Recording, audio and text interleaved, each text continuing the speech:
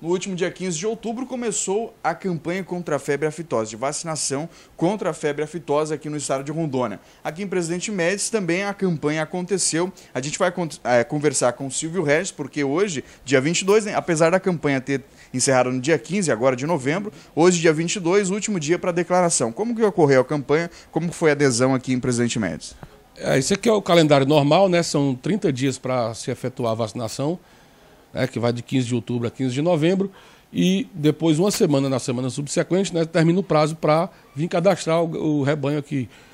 Até agora, né, nós temos tido uma resposta muito boa, nós já temos 99% do nosso rebanho cadastrado, nós temos é, faltando em torno de, de 39 produtores ainda, né, nós temos até o final do dia ainda para que esses produtores venham aqui para fazer a declaração.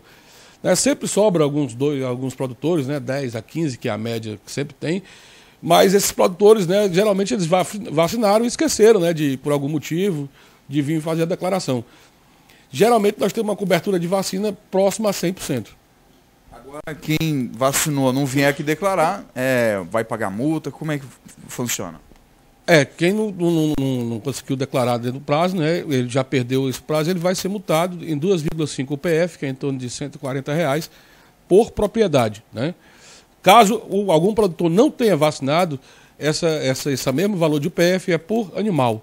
Né? Então, cada animal que não vacinado custa em torno de 150 reais e ainda o produtor vai vacinar. Né? Aí nós vamos acompanhar a vacinação assistida.